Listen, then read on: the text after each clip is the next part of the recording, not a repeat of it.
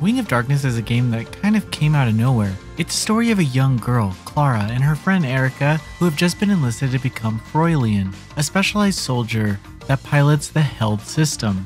This is essentially mech power armor, but only a few are born with the skills to actually use them. The rest of the story follows these two as they fight in a war against the mysterious enemy known as Blankers.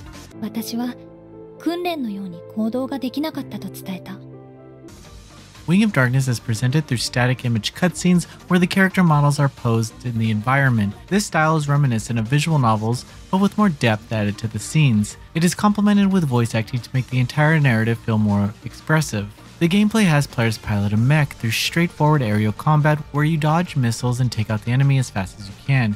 There is some customization found as you choose your weapon loadouts for each mission before you take off. However, there aren't too many unlockables provided as you'll have all the weapons available from the start of the game.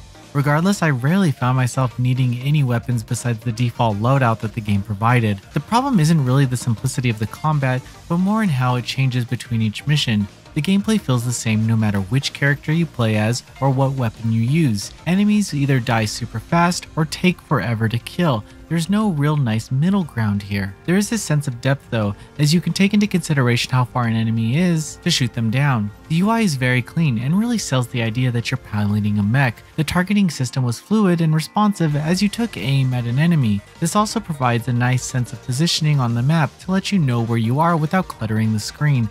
However, targeting doesn't come without its issues, as it generally targets the main objective. This is fine in theory, but there are times when enemies are so close together that the targeting system is thrown off. It leads to moments of confusion as you chip away at the enemy's health, only to switch to another one without knowing. There's a reticle to guide your shot, but it doesn't always work properly.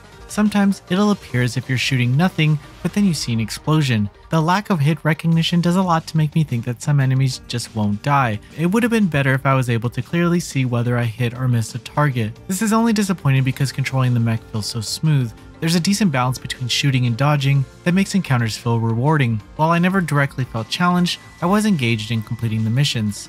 However, Wing of Darkness sadly suffers from an exceptionally short runtime. It is incredibly short, and certain aspects of the story feel rushed because of it. One minute I was experiencing a lighthearted story about two girls hanging out, and the next a tragic war was going on full of loss and grief. The runtime lasts a little over two hours, and it is not nearly enough to deliver a well-rounded narrative that gives these characters the time needed to become fully realized. Returning to the story for a bit, Wing of Darkness is entirely voiced in Japanese using simple subtitles. During missions, characters interact even when you're deep in the action. I found myself needing to divert my attention from the battle to the bottom of the screen frequently and oftentimes missed some important exchanges. I would have preferred a box with the character's avatar at the top right corner of the screen so it felt like it was more part of this world and easier to read. Wing of Darkness doesn't have enough time to really make its mark. Its 2 hour runtime and lack of customization or unlockables give little reason to return after the credits roll. It's a shame because these characters are extremely likable, and you can't help but want to see their missions through. Here's to hoping more comes from this series. Noisy Pixel is giving Wing of Darkness a 6 out of 10. Thank you for watching. Please read the full review at noisypixel.net. Noisy Pixel is run by a group of gamers who work hard to deliver news, reviews, previews, and more. Please subscribe to keep up with all our future content.